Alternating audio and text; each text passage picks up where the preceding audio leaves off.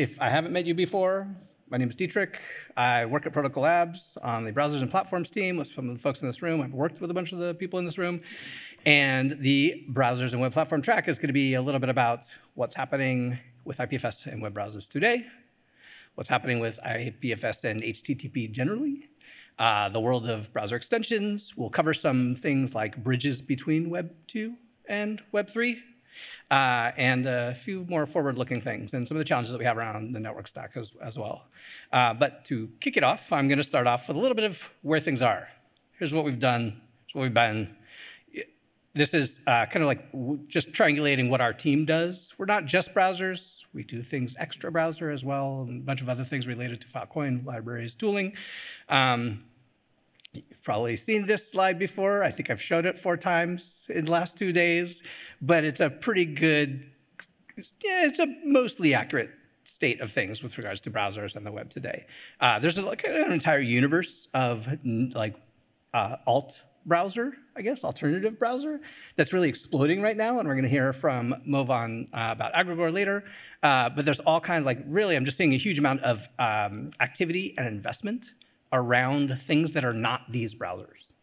And that is super, super exciting. And that's something we're like we're not really going to get into much today, but I encourage you like join our browsers and platforms channel on the Filecoin Slack. It's also bridged to Matrix, also bridged to the IPFS Discord. And we talk about a bunch of those things. Whenever we see new browser-related things or web-related things, we drop them in that channel and hang out and chat about it. So you are welcome to join that conversation. Uh, this is way more green than I think I expected it to be, even after being at PL for just over three years. We've made some pretty significant strides. We have some very aligned partners in browsers like Brave, but also some areas where um, in some of the biggest browsers, you'll see a lot more red. And you know, there's a, a number of reasons why, why that is. Uh, everything from architectural differences to uh, our, uh, lack of participation in standards bodies and things like that. Um, but some oddly interesting uh, supporters champions in strange places as well. And so I'll cover, I'll cover a little bit of that. Uh, from a challenges standpoint, there's a lot of them. Uh, the way that you know uh, the HTTP trust and security models work, the privacy models work, are really par paradigmatically different than how we envision trust and security in IPFS. Uh, the composability of IPFS and the you know stack all the way down to the bottom uh, is a radical re-envisioning kind of of how you would build an internet. Um, as opposed to maybe just the www part of the web today.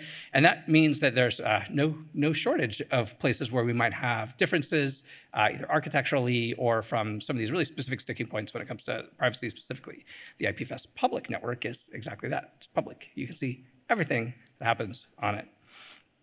Uh, but oftentimes, too, there's a, a, a, gulf between the, the places which uh, we are coming from and the end user problems that we are trying to solve when we are looking to implement our protocols inside web browsers and make them more broadly available to application developers and to publishers of data uh, than the uh, you know, traditional I guess the institutional web is not the right way to describe it, but the set of people who are decision makers at standards bodies today around what browsers can and cannot do. Um, so a lot of this comes down to a ongoing clash of cultures and philosophies and politics around what the web should be, uh, who and who who even gets to decide that. Um, when somebody like the the you know amount of skepticism and almost fear in some places around using the phrase Web three is really telling around that who has or who or how many people have their hands on the ability to change what the definition and, and meaning of the web is. If you spend some time reading through uh, a very interesting document uh, written by the Technical Architecture Group the W3C, which is called the Ethical Web Principles. It's very interesting to look at that document and look at the web as it is today, the web, the HTTP web, and look at the vision that it paints and what some of the protocols like ours are trying to do, how much similarity there is there, yet from a value standpoint and from a technical architecture standpoint, universes apart. Um, and, and that can that can be challenging, but but also interesting. At, at base, you know, I think a lot of the way that developers think about the web and what we're trying to do is a little bit like this, even though, um, as Martin will show us, it's a little more complicated than this these days, even when developing HTTP. And when we're approaching the problems that we want to solve in browsers today, that we want end users to be able to really access, really lower the barriers to be able to access architectures like this, where if you're in the same room, you can build applications that work together and, and talk to each other without having any data having to leave the room, which, which with DNS is basically already impossible for the most part, um, unless you're hacking things locally. Uh, and really like thinking about how humans interrelate on the internet and how can we build applications that connect them in ways that really slowly telescope out in, in this way. And architectures that support this like a mix and matching type of ways that people can communicate with each other. It's, it's really not easy and it's a difficult thing to communicate this to people who really fundamentally, even though the network doesn't operate like this, still think about it like this. And that, that's a challenge not just you know, socially, but also you know, technically and, and politically. Um, I, I've done a talk called IPFS in Weird Places, and honestly, like they're just not that weird. And one of the interesting things about the areas and the environments that our team codes to is that when you look at a list like this, when you think the web, you think browsers. But really, the web ends up in all of these different places. And I, I removed a few that you could maybe stretch and argue that the web gets into IoT and satellites a bit. But the rest of these, you really, you're like, all right, yep, the web is in almost all of these other places and pretty deeply. Uh, one of the groups that we work a lot with, and I'll talk a bit about it, is Igalia. And they are the maintainers of a embedded WebKit implementation. And that's a web rendering engine that renders the user interface that you see on washing machines and refrigerators and coffee machines. And one of the probably most of the most widely deployed web rendering engines in the world, but nobody's ever really heard of it very few number of contributors. It's not really considered the, you know, we can't interact with it in ways that are outside of that appliance generally, and that changes the nature of how accessible it is to us as builders or people who, who want to solve end user problems that are relevant to us and, and our mission. But um, the web is broader than just browsers, and that means more challenges sometimes, but also some opportunities. And so we really kind of lean, lean into that as well. Um, also, and, and really like that's not well represented in this, right? Like when we think about browsers in the web today, we kind of think of these very familiar icons um, I guess I probably should have put the Safari icon up there instead of WebKit, and more people would have recognized it. Um, but the web really does expand far, far, far beyond these, these set of entities. But those are what I'm going to talk about today, what the gains that we've made, some of the things that we've actually shipped over the last couple of years, and then hand it off to other folks to talk about new directions that we're going to go, um, new challenges that we're trying to tackle. Um, so Opera Browser was the first major browser they say they have about 250 million users uh, worldwide. And if you're like, well, I don't know anybody that uses Opera browser, it's because most of their users are in other places like televisions and other different types of appliances or Opera Mini on smart feature phones, uh, things that aren't maybe things that you and I hold in our hands every day, but billions of people around the planet do. Uh, so it's a very interesting company in that regard. So they shipped IPFS and IPNS scheme support where it redirected to a remote gateway to dweb.link before anybody else did. And they actually did it across their iOS browsers, their Android browsers, and their desktop browser. Um, uh, the company itself has been bought by a investment conglomerate, so there's not really like a a lot of the people who are like deep web um, champions that were at Opera for many many years have now since moved on to other companies, um, but there's still some some folks there, and we try to keep the door open and take advantage of these opportunities as they come about. Um, but there's not really a lot happening right now. It's definitely definitely slowed down. Uh, Firefox I was there for 13 years building Firefox web browser back in the day, Firefox OS, mobile operating system, and then I spent the last four years doing developer relations and strategy. So working on things like MDN, doing a lot of talks and building out kind of community developer relations groups like the Mozilla Tech Speakers. Um, I was, had a side project there to add APIs to the browser that were like the common denominator that you would need for browsers to be full participants in distributed systems like IPFS. Uh, so it added things like TCP and UDP socket support, protocol registration, actual file system access to browser extensions. Because we'd had some early experiments, like a, a technology called FlyWeb, which kind of added the idea that a web page can itself be a server to the web platform directly as a web API. And from a security standpoint, that just got shut down really fast. So we said, okay, what if, as an, uh, like a, a way to do some innovating in this space, we added extension APIs instead, and that allowed a little bit more kind of explicit user consent and a model for that for those elevated privileges that you have from an extension. Um, there's a lot of interest in you know the DWeb world and projects like uh, Ethereum folks and IPFS, super interested, but there were not really a lot of support inside Mozilla to be able to develop that. And that's one of the challenges that we still have today, is that even though Mozilla has a lot of value alignment, when you look at like the, the mission of, of Protocol Labs or IPFS or something like that, and you look that uh, like right next to the Mozilla mission, you're like, eh, blur your eyes. Like these look kind of similar. Um, but from an architectural standpoint and the what does it mean to be part of the web standpoint, they're really universes apart. And there's not really a lot of interest there to be doing the kind of experimentation that we want to do in browsers today. So you know, we haven't really made a lot of ground there um, and maybe even backwards uh, when it comes to things like the even something like the DID spec at the W3C, where Mozilla is one of the formal objectors, objected to the group being formed and objected to it being a proposed um, standard at the W3C. So a lot of a lot of friction in that relationship, but also some opportunities, and still obviously talking to folks there on a pretty regular basis. Um, WebKit and Apple, no, no clear signals from Apple. Uh, you know, we know some of the developers on the WebKit team. We know people that work in other parts and try to keep some back channels open there, but um, not really a lot of direct engagement. So we worked with Igalia to do some things like um, interoperability of local host security model handling in WebKit. And even there, we just really a lot of walls and really difficult to make change. Um, so it's very slow going, but you know, of course, maybe the broader environment changing around them sometimes can have like three to five year effects on the decision making that Apple makes about the web. And what we've seen recently is like they've hired up a bunch of people to work on WebKit and Safari and have really accelerated things like PWA support and uh, also, the movement in European Union regulations around allowing non-WebKit rendering engines on iOS, I think also might want to be one of those levers that get things moving a little bit. So uh, definitely an, an, a place to watch, but really not a lot material happening uh, Brave is one of the, you know, as the name implies, they are very interested in taking big experimental risks with what the nature of the web is.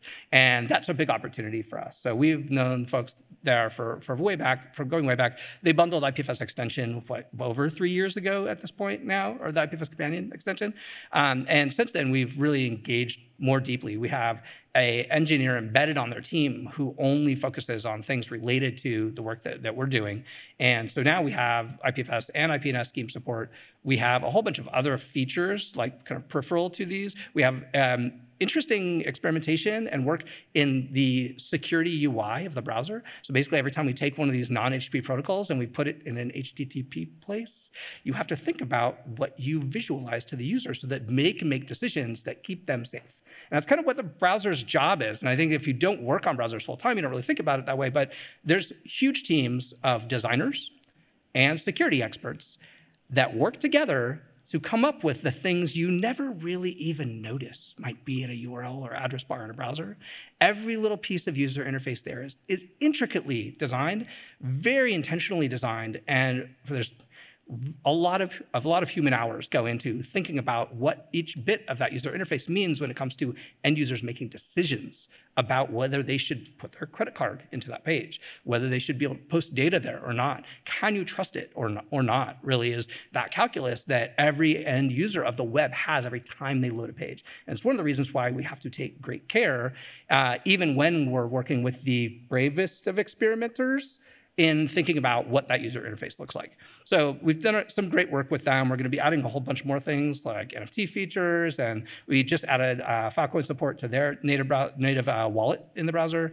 And there's more stuff that we want to do, especially in the area of moving Web2 data onto IPFS or allowing end users to be able to capture and save Web2 data in a way that lets them share it with other people, save it locally, th things like that. So more to come there.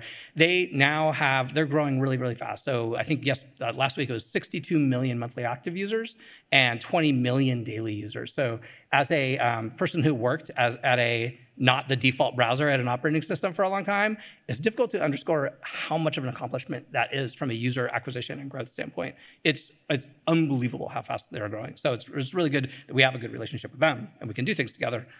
Um, so, and, and this is kind of what I was talking about, like some of the things that work, but then also some of the places where we have to be very, very careful. Uh, HTTP things and not HTTP things co-living together, it, it, can get awkward in the same space. Um, Chromium, you know, I think it was what, like over 90% of the web today ends up being Chromium uh, rendering engine under the under the covers, regardless of whatever the top level project product is, and then uh, Chromium Chrome browser itself being a massive share of, of browsers now we work with Igalia. And so Igalia is a consultancy. They've worked on web rendering engines for about 20 years. I think they had their like 20 year anniversary party last year. Uh, they've added a bunch of accessibility APIs to the web. They've worked on things like MathML. They've worked with a number of uh, CSS Grid for Bloomberg. They've done a bunch of things, though most web developers may have never heard their name ever. But you might very likely, if you are a web developer, has used, have used code that they've written. Uh, they contribute to WebKit, Gecko, and uh, Blink, and they are um, part of the, like the deciding, the decision makers of the web a little bit. They participate in the W3C for a long time, um, and so we have a contract with them where we have a full-time team member now focused on all the things that we want to do on the web. So we want to be able to add uh, the ability to register non-HTTP protocols to Chromium-based web browsers. They worked with us on that. Um, they've worked with us on a, a, bunch of like security and compat issues. How do we make sure that uh, that say Gecko and uh, Blink handle uh, schemes the same way that they handle localhost security restrictions the same way, everything from permissions uh, up and down the stack. And we're talking about things like adding native IPFS support to the Chromium network stack and kind of poking at what that might look like. Because right now, the approaches that we've taken, uh, like for, with Brave, for example, was to ship Kubo in Brave, or basically alongside Brave, and Brave manages that external process. Uh, you don't get the security model of the web or it, deep integration of the web when you go that route. Um, even if you if you redirect to a remote gateway, you can maybe go an oddly HTTP-ish path up and down the permissions stack, but it's not really native. And we really want to reimagine what native IPFS support in the web would look like. And to be able to do that in Chromium, you have to embed directly into their network stack as opposed to being a bundled vendor library where at some point, like the permissions and security models and feature capability detection models and all that forks and goes the HTTP path versus the IPFS path. And so one of the first major projects that we did with them was a refactoring of the Chromium code base to be able to unify how protocols and schemes are handled up and down the stack. Everything from ha like handing off to the graphics pipeline, security checks, CSS engine, all of the different parts of these things that are basically operating systems themselves at this point. Really, really massive code bases and really massive communities of developers. And with Chromium specifically, a large community of businesses that are also building on it are all part of like the decision-making tree and the daily, you know, operations of developing the thing. And so Igalia has been our kind of representative in that way, and we haven't really poked so far at, at things that are specifically IPFS, but we're just about to turn that corner. So I think it's gonna be interesting like next six to 12 months as we lean a little harder into doing actual IPFS things with them in Chromium, as opposed to just kind of smoothing out the bumps or creating space for non-HTTP protocol development. Uh, IPFS Companion, you're going to hear a little bit today probably from lidel and also from David Justice about where it's been and where it's going. So I'm not going to spend a lot of time there um, other than it's a really challenging environment. Like web extensions were first many years not compatible across browsers. Now they're like generally compatible across browsers, but the kind of like capability and feature space has really decreased in size um, with a, a, couple of major changes, and, and Dave will talk about those changes. But it's made it really difficult, and it means that it kind of makes us have to reevaluate what is the purpose of an IPFS extension?